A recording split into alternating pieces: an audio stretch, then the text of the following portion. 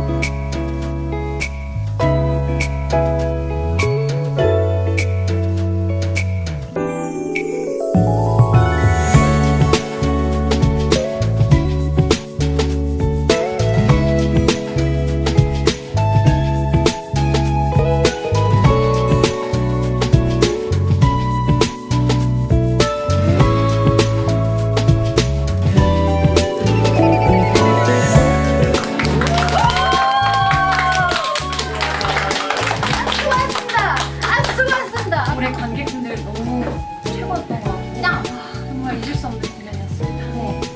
여러분 내년에는 더 멋진 공연을 기대하셔도 좋습니다. 다비치는 영원하니까요.